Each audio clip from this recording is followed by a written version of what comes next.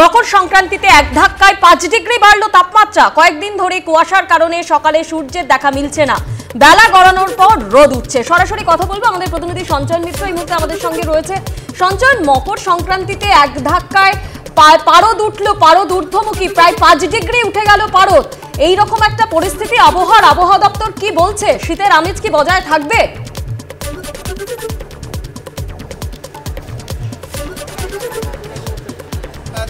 এবং কাল দুদিনই এরকম পরিস্থিতি থাকবে আজকে যেরকম দেখলাম আমরা যে পাঁচ ডিগ্রি বেড়েছে কলকাতার তাপমাত্রা, আজকে উনিশ দশমিক সাত ডিগ্রি সেলসিয়াস।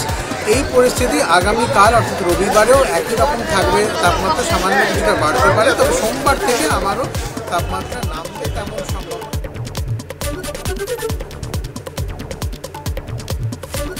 সঞ্চয়, তোমার কথা আমরা পরিষ্কার শুনতে পাচ্ছি না। যে খবরের দিকে আমাদের নজর রয়েছে গঙ্গা মকর সংক্রান্তিতে এক ধাক্কায় পাঁচ ডিগ্রি বাড়লো তাপমাত্রা কুয়াশের কারণে। সকালে সূর্যের দেখা মিলছে না।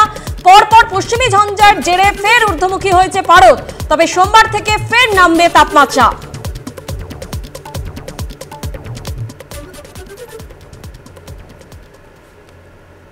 আর কুয়াশার কারণে মিলেনিয়াম পার্ক থেকে লঞ্চ না ছাড়ায় বিপাকে পড়লেন গঙ্গাসাগরগামী যাত্রীরা। বিভিন্ন রাজ্য দূর দূরান্তের জেলা থেকে এসেছেন পুণ্যার্থীরা। অনলাইনে টিকিট কেটে বেসরকারি সংস্থার জলযানে এদিন গঙ্গাসাগর যাওয়ার কথা ছিল। ভোর থেকে মিলেনিয়াম পার্কে ভিড় করেন পুণ্যার্থীরা।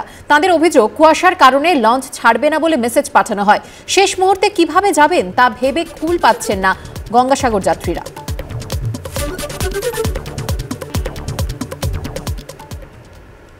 আজও কাল মকর সংক্রান্তির পুণ্য স্নান। বিশুদ্ধ সিদ্ধান্ত গুপ্ত প্রেস পঞ্জিকা অনুযায়ী দুদিনই সাগরে স্নান করতে পারবেন পুণ্যার্থীরা। গঙ্গাসাগরে পুণ্যার্থীদের ঢল, এসেছেন বিদেশি পর্যটকরাও। প্রশাসনের পরিসংখ্যান অনুযায়ী শুক্রবার দুপুর তিনটে পর্যন্ত গঙ্গাসাগরে এসেছেন প্রায় একত্রিশ লক্ষ পুণ্যার্থী। সাগর তীর্থ জমজমাট, নানা বয়সের নানা মুখ, নানা অভিব্যক্তি। পুণ্যলাভের আশায় হাজার হাজার মাইল ছুটে আসা ভক্তকুল, ধ্যানমগ্ন সন্ন্যাসী, দেশে বিদেশি অতিথি। সব মিলেমিশে একাকার হয়ে গেছে এই ভারতের মহামানবের সাগর তীরে। এবার শনি ও রবিবার দুদিনই মকর সংক্রান্তি। বিশুদ্ধ সিদ্ধান্ত গুপ্ত প্রেস পঞ্জিকা অনুযায়ী দুদিনই সাগরে স্নান করতে পারবেন পুণ্যার্থীরা। ইতিমধ্যেই লক্ষাধিক পুণ্যার্থী ভিড় করেছেন সাগরে। দেশ বিদেশের নানা প্রান্ত থেকে গঙ্গাসাগরে পুণ্য স্নান করতে ভিড় করছেন মানুষজন। জোরদার করা হয়েছে সাগর মেলার নিরাপত্তা। জলপথের পাশাপাশি নজরদারি চলছে আকাশপথেও।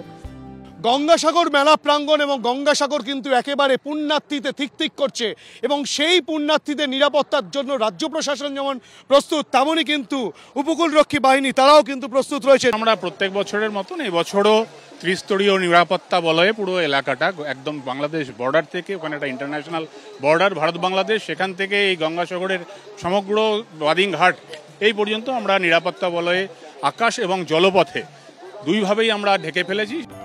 এদিন মেলা প্রাঙ্গণ ঘুরে দেখার পাশাপাশি মেলার মেগা কন্ট্রোল রুম ঘুরে দেখেন রাজ্যের একাধিক মন্ত্রী ও প্রশাসনের আধিকারিকরা।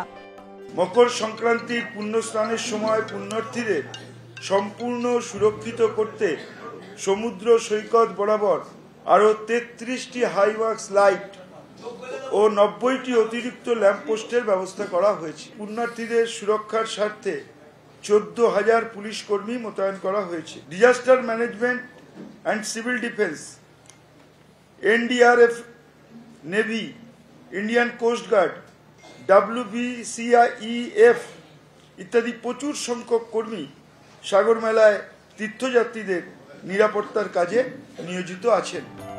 এদিকে আউট্রাম ঘাটের ট্রানজিট ক্যাম্পে উপচে পড়া ভিড়।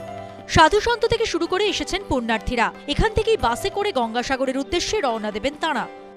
এই বছর আতঙ্ক কিছুটা আছে কিন্তু বিধিনিষেধ অনেকটাই শিথিল। তাই এই বছর গঙ্গাসাগর মেলায় মানুষের ভিড় উপচে পড়বে এমনটাই আশা করা হচ্ছে। আর তার পূর্বাভাস পাওয়া যাচ্ছে এই আউটরাম ঘাটে ট্রানজিট ক্যাম্পে এসে। কাহা সে হ্যাঁ গোরখপুর।